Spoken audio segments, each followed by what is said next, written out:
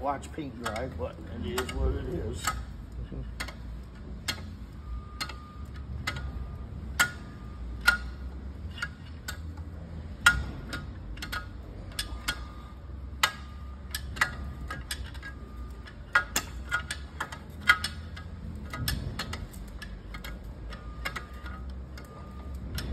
Yeah, that's I was reading, so probably should put in there that on these Maseratis that they need to be turned clockwise. And I did read in there too that said facing the pulleys, you know, mm-hmm. so it'd be facing the front of the motor. That should be one run, run, run right there, I think.